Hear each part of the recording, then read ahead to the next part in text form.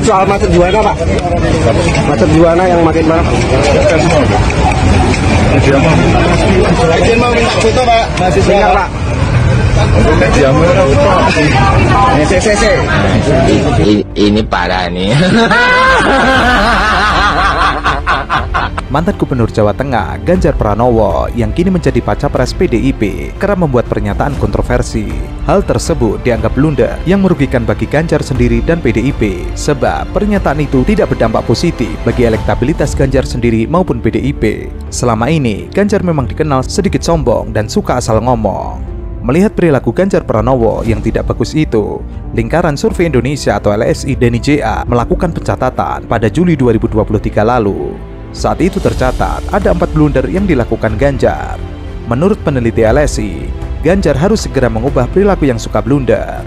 Pertama, saat podcast bersama Deddy Kobuser, Ganjar mengaku hobi menonton video porno. Ini kok Pak Ganjar apa nonton film porno? Eh, kalau saya nonton film porno itu salah saya di mana? Coba, saya dewasa. Bener nggak sih? Eh, kamu ngapain? Kamu kencing belum lurus aja kok ikut angkat tangan. Nggak salah saya di mana kalau saya nonton gambar porno, film porno. Wong saya suka kok. Menggoreng berita porno ini cenderung tidak menguntungkan Ganjar sebagai capres PDIP 2024, ujar Natalius. Dikatakan Natalius, berita porno yang terus digiring tersebut amat tidak disenangi para ibu rumah tangga. Begitu pula dengan tokoh agama yang bermoral. Berita tentang porno hal yang sangat anti bagi ibu-ibu rumah tangga dan tokoh agama yang bermoral. Menurut Natalius, PDIP di bawah naungan Megawati Soekarno Putri harus cermat dalam menetapkan pilihan pada Pilpres 2024. PDIP mesti cermat karena mulai gosip dan viral di ibu-ibu muslimah wanita Kristen bisa-bisa Ganjar kalah. Sebelumnya, Gubernur Jawa Tengah Ganjar Pranowo dan juga capres dari PDIP pernah mengungkapkan hal mengejutkan saat hadir dalam podcast bersama Deddy Kobuser. Eh, kalau saya nonton film porno itu salah saya di mana? Ia secara terang-terangan mengaku suka menonton film porno. Menurutnya kesukaannya itu tidak ada masalah. Ganjar Pranowo tampaknya tidak malu untuk mengungkapkan hal tentang dirinya. Ia mengaku menyukai film porno saat hadir dalam podcast Deddy Kobuser. Meski begitu, Gubernur Jawa Tengah ini tidak melihat adanya kesalahan jika suka menonton film porno. Menurutnya, akan bermasalah jika video porno disebarkan di media sosial atau ke orang lain. Kalau saya menonton film porno, salahnya di mana? Saya dewasa punya istri. Yang nggak boleh itu saya kirim-kirim, karena yang mengirim itu kena undang-undang ITE dengan tuduhan menyebarkan. Ketika ditanya alasannya, ia tidak menampik jika menonton film porno diperlukan untuk orang dewasa. Kadang-kadang, sebagai orang dewasa perlu saya sehat, kecuali saya tidak sehat. Kita mengerti studi perkembangan. Manusia itu kebutuhan-kebutuhan ada lidah yang menuntut merasakan masakan. Turun ke perut, lalu di bawah perut itu urusan manusiawi. Sementara itu, Guru Besar Ilmu Komunikasi Universitas Indonesia, Profesor Dr. Zulhasril Nasir menilai pernyataan Gubernur Jawa Tengah Ganjar Pranowo yang menyebut bahwa dia suka menonton film bokep bukan saja tidak patut, tetapi juga menggambarkan sikap mental dan moral yang tidak baik dan tidak bisa dijadikan contoh dan teladan. Bangsa Indonesia akan mempertaruhkan masa depannya jika ia terpilih sebagai presiden. Terlalu riskan pernyataan itu dan secara moral tidak bisa dimaklumi. Pengajar FISIP UI itu juga menyatakan, seingatnya Ganjar mengungkapkan hal itu di acara podcast di channel YouTube Deddy Kobuser yang kemudian viral. Eh, kalau saya nonton film porno itu salah saya di mana? Coba, saya dewasa. Bener nggak sih? Eh, kamu ngapain?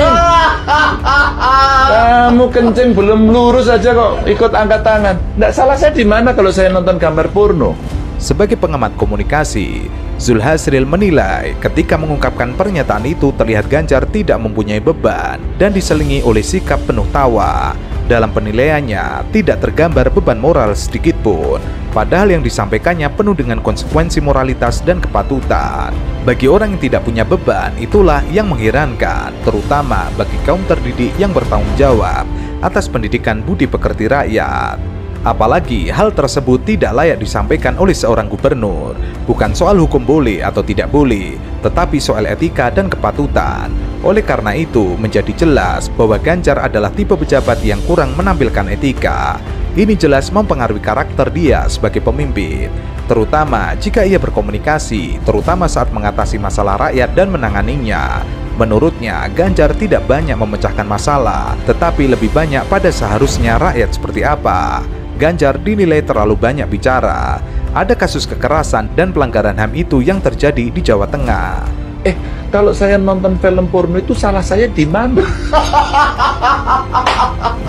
Kedua, Ganjar menyatakan kalau capres PDIP adalah petugas partai. Hal ini berdampak negatif bagi elektabilitas dirinya dan PDIP. Ucapkan Bismillahirrohmanirrohim menetapkan saudara Ganjar Pranowo sekarang adalah Gubernur Jawa Tengah sebagai kader dan petugas partai untuk ditingkatkan penugasannya sebagai calon presiden Republik Indonesia dari Partai Demokrasi Indonesia Perjuangan. Pengumuman penunjukan ini Megawati sampaikan dalam konferensi pers di Istana Batu Tulis Bogor. Ia mengatakan, dengan mengucap Bismillahirrohmanirrohim menetapkan saudara Ganjar sekarang adalah Gubernur Jawa Tengah sebagai kader dan petugas partai untuk ditingkatkan penugasannya sebagai calon Presiden Republik Indonesia dari Partai Demokrasi Indonesia Perjuangan. Adapun Ganjar sendiri mengaku tidak masalah disebut sebagai petugas partai saat menerima dukungan dari PDIP sebagai capres untuk Pilpres 2024. Kami bahwa ada kekhawatiran karena kalau kita bicara partai politik, setiap survei, setiap sigi yang dilakukan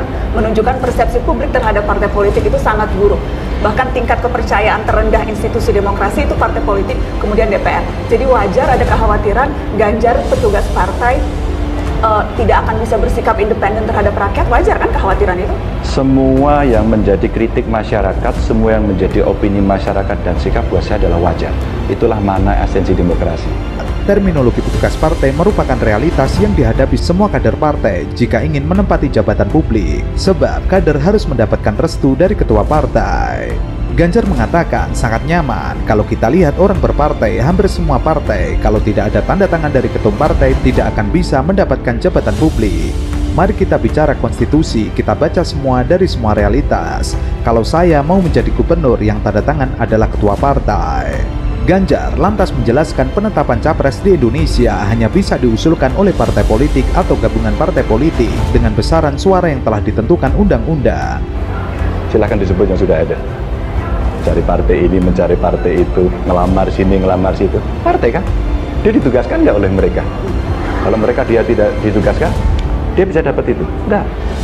Dalam sistem partai, tidak ada demokrasi tanpa partai politik saya memilih jalan sebagai seorang kader.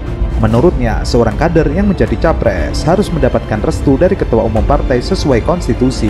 Bila tidak mendapatkan dukungan partai, ia memastikan seorang tidak bisa menjadi capres. Sementara, istilah petugas rakyat muncul dari Ketua Koordinator Nasional Amanat Indonesia. 2024 Anies Presiden. Insya Allah 2024 Anies Presiden. Maka rakyat hanya minta satu hal. Apa yang rakyat minta? Rakyat minta jadilah petugas rakyat. Manuel Quazon Presiden Persemakmuran Filipina John F. Kennedy Presiden Amerika.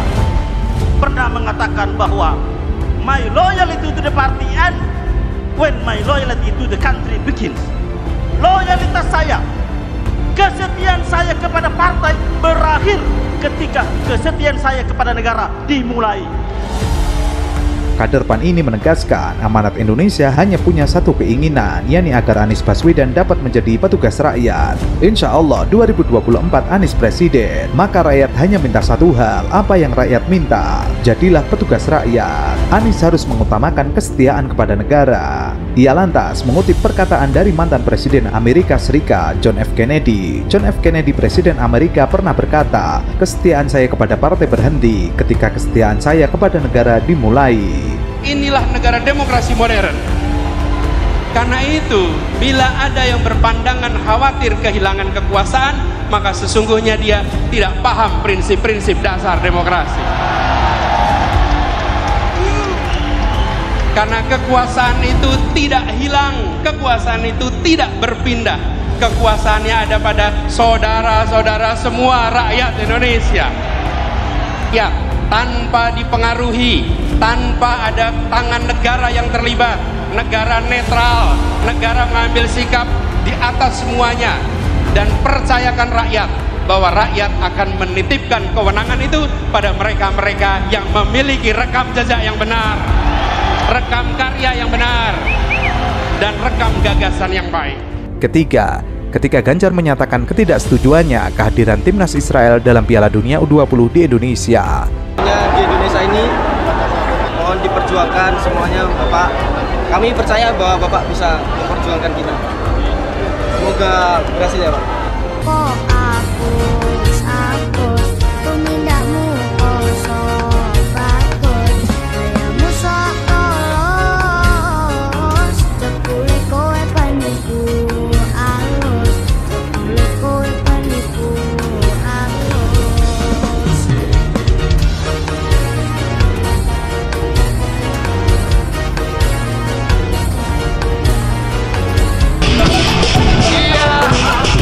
Ganjar Pranowo memberikan tanggapan soal pembatalan drawing Piala Dunia U20 2023. Sebelumnya, Gubernur Jawa Tengah tersebut menolak kedatangan timnas Israel di Indonesia. Usai dibatalkan, ia mengaku mempercayakan semuanya kepada pemerintah pusat dan PSSI. Drawing Piala Dunia U20 2023 sejatinya dilaksanakan di Bali pada 31 Maret 2023 mendatang. Namun demikian, FIFA membatalkannya seiring dengan penolakan Gubernur Bali, Wayan Koster, terhadap kehadiran Israel di wilayahnya. Ganjar pun juga ikut menentang kedatangan timnas Israel U20. Ia pun memberi jawaban singkat mengenai pembatalan drawing Piala Dunia U20 2023 yang berpotensi menyebabkan turnamen batal digelar di Indonesia. Ganjar tidak menyangkal soal penolakan terhadap timnas Israel U20, termasuk dari beberapa kalangan masyarakat. Sebelumnya, Ganjar Pranowo telah menyampaikan pernyataan tertulis. Ia berharap agar timnas Israel U20 tidak ikut tampil di Piala Dunia U20 2023. Ganjar mencatut komitmen Bung Karno yang terus mendukung kemerdekaan Palestina. Disebutkan olehnya, hal itu merupakan komitmen dirinya. Semua tahu bagaimana komitmen Bung Karno terhadap Palestina, baik yang disuarakan dalam konferensi Asia Afrika Gerakan Non-Blok dan maupun dalam konferensi of the New Emergency Force. Jadi, PDIP ikut amanat Soekarno.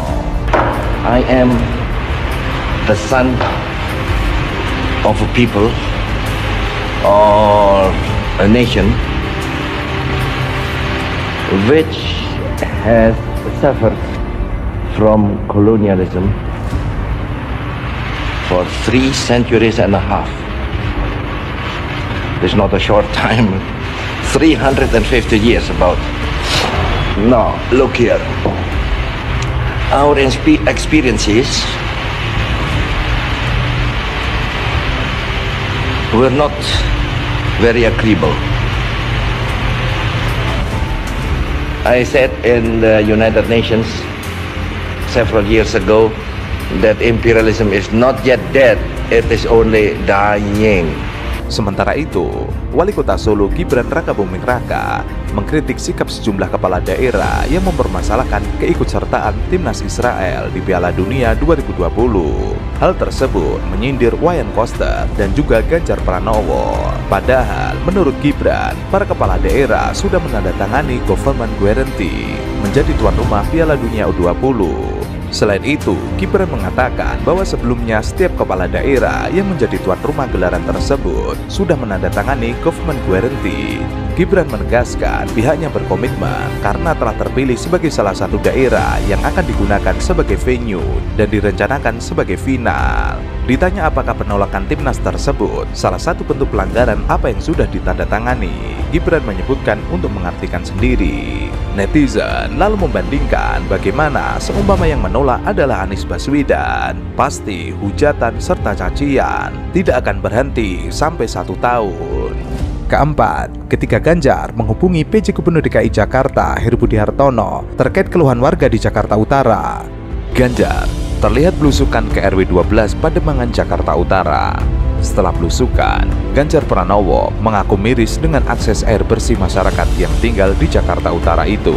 Tentu saja komentar Ganjar tersebut membuka aib Gubernur DKI Jakarta Heru Budi Hartono. Lalu Ganjar melakukan kunjungan dengan mendatangi tiap-tiap gang sempit di wilayah tersebut.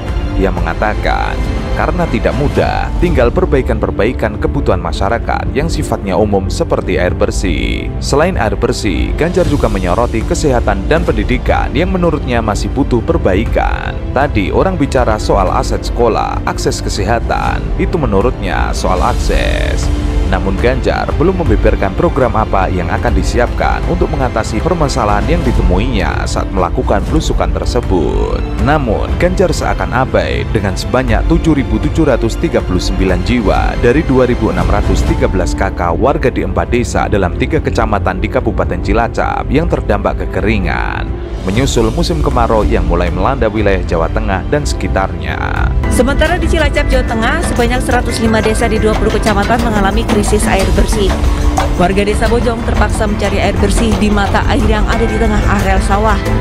Jaraknya yang cukup jauh dan berada di persawahan membuat warga harus membawa sepeda motor untuk mengangkut air. Bawang merah di Kabupaten Brebes, Jawa Tengah terpaksa menggunakan air selokan yang berasal dari limbah buangan rumah tangga untuk mengairi lahan pertaniannya. Hal ini dilakukan agar tanaman mereka bisa tetap hidup hingga masa panen saat musim kemarau. Musim kemarau di Jawa Tengah membuat curah hujan menjadi minim dan mengakibatkan berkurangnya cadangan sumber air bersih. Meskipun Pemda setempat telah mengerahkan tiga mobil tangki berkapasitas 5.000 liter untuk memenuhi kebutuhan air bersih, tapi tetap kurang. Cilacap sebagai kabupaten terluas di Jawa Tengah menjadi wilayah yang rawan kekeringan. Sedikitnya ada 1005 desa di 20 kecamatan yang masuk dalam rawan kekeringan. Dalam hal ini, ada desa yang tidak masuk dalam wilayah rawan kekeringan. Namun, karena pompa air dari Panci Mas rusak dan belum ada perbaikan, maka BPBD Kabupaten Cilacap tetap mendukung pendistribusian air bersih di wilayah tersebut.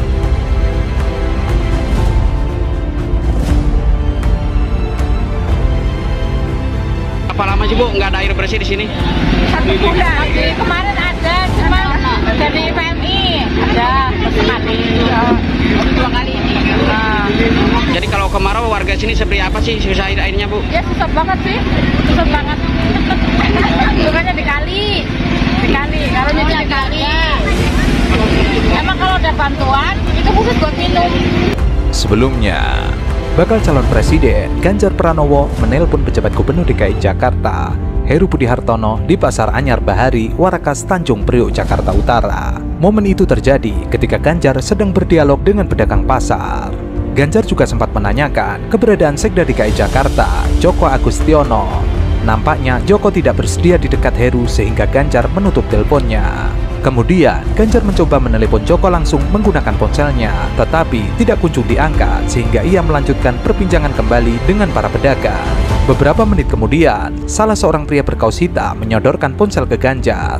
Ia menyebut ponsel itu sudah tersambung dengan Joko. Ganjar pun menyampaikan sejumlah persoalan yang dihimpun dari para pedagang. Salah satunya soal retribusi yang dinilai terlalu memberatkan pedagang. Ini saya lagi di Pasar Anyar Bahari. Permasalahan pertama, mereka para pedagang menyampaikan retribusi itu berat. Boleh nggak diringankan? Tanya Ganjar.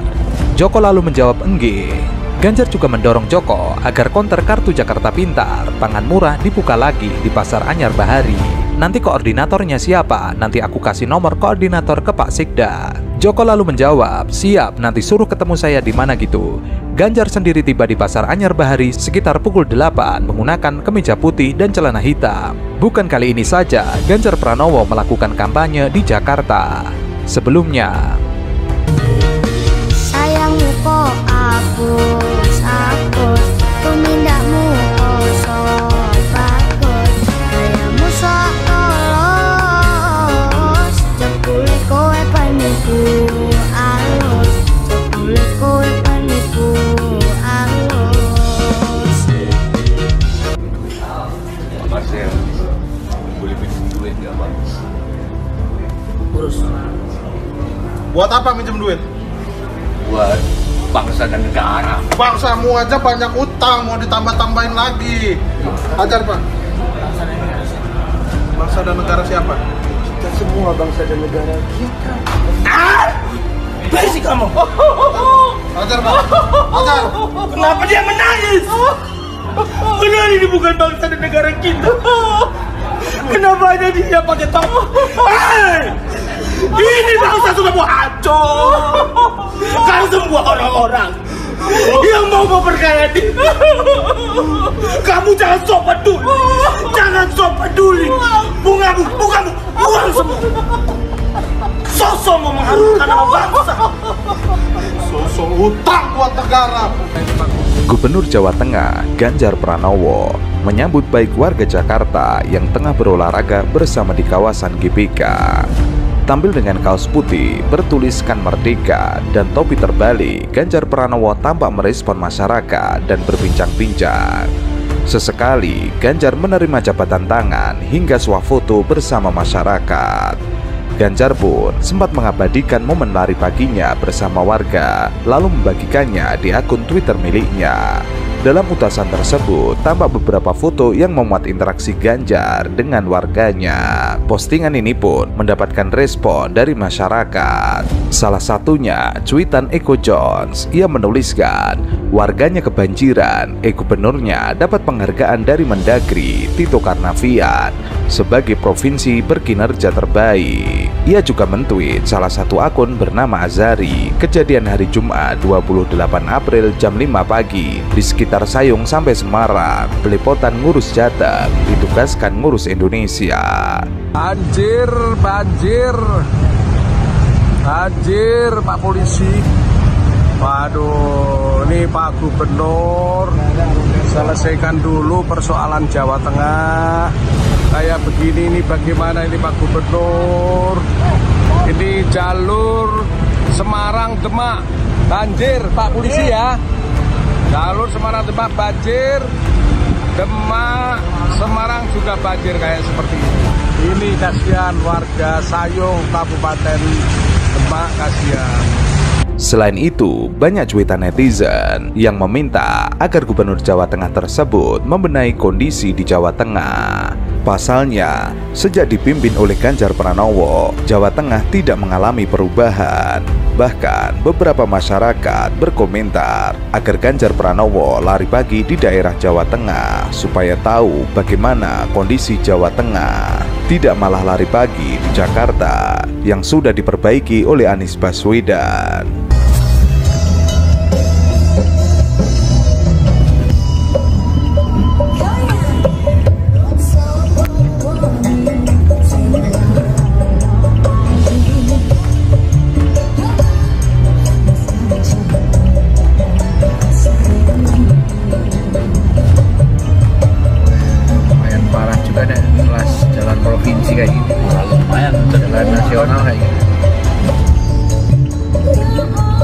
Ora berat bangun tadi sopir mobil halus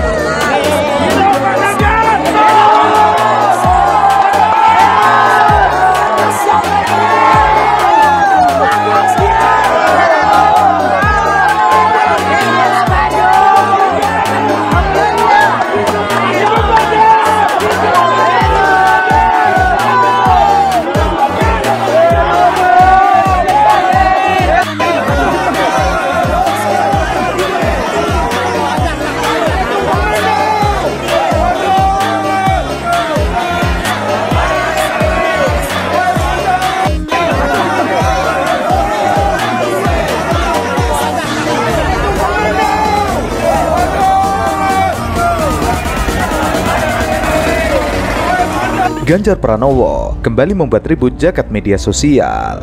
Pasalnya, dalam cuitannya, ia mengaku ingin jalan sehat tanpa mengerahkan pasukan.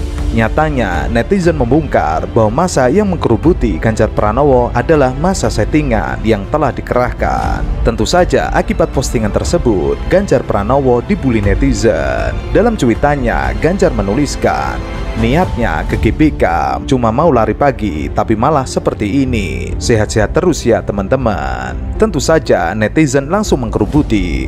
Salah satunya hukum milik penguasa.